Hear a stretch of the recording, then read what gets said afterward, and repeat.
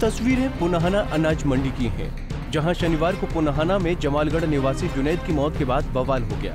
जुनेद की मौत के बाद कुछ लोगों ने जुनेद के शव को पुनहाना अनाज मंडी के पास मुख्य मार्ग पर रखकर रोड जाम कर दिया था। इसके बाद इनमें से कुछ लोगों ने पुनहाना सिटी चौक प्रभारी हरदेव सिंह पीसीआर ड्राइवर लोकेश पर जानलेवा हमला किया जिसमें वो दोनों चोटिल हो गए। इसके बाद उक्त लोगों ने पुलिस की सरकारी गाड़ी में आग लगाकर कानून व्यवस्था बिगाड़ने का काम किया।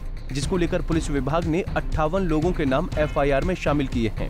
और थाने को दिए पुलिस स्टेशन में छोड़ को दिए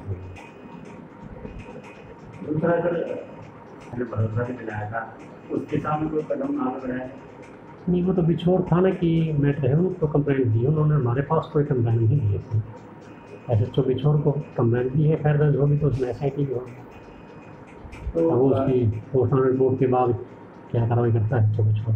जो की कॉलेज उनका कल फरीदाबाद के पुलिस ने जो है डाल दी हुई थी मैं एक दो केस में पहले भी वांटेड ही है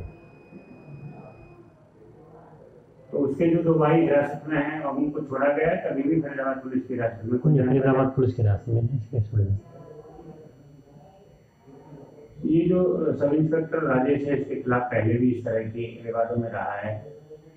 तो इसको लेकर कोई एस साहब से बातचीत आपकी हुई हो? नहीं मेरे को बात ना मैं जानता राजेश को उस मैटर में जो है पुराना पुलिस की तरफ़ से अट्ठावन बाई नेम लोगों के खिलाफ और सौ डेढ़ सौ अन्य लोगों के खिलाफ एफ़ आई आर दर्ज कर ली है भिन्न भिन्न धाराओं में उसके अलावा हमने उनमें से अट्ठावन में से आठ लोगों को राउंड अप कर लिया। है उनको आज गिरफ़्तार करके पेश न्यायालय किया जाएगा। उनको सर रिमांड पर नहीं उनको रिमांड पर ही जाएगा। पुनहाना पुलिस ने सरकारी काम में बाधा डालने, पुलिस पर हमला करने, सरकारी संपत्ति को नुकसान पहुँचाने सहित विभिन्न आरोपों सहित विभिन्न धाराओं और आईपीसी तीन पीडीपी एक्ट के तहत अट्ठावन नामजद व लगभग डेढ़ सौ अन्य लोगों के खिलाफ मामला दर्ज कर आठ लोगों को गिरफ़्तार कर लिया है। पकड़े गए आरोपियों को जल्द ही कोर्ट में पेश किया जाएगा।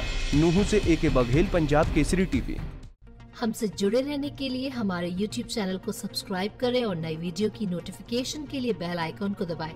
अगर आप ये वीडियो Facebook पर देख रहे हैं तो लाइक ज़रूर करें और ज़्यादा से ज़्यादा शेयर करें। धन्यवाद।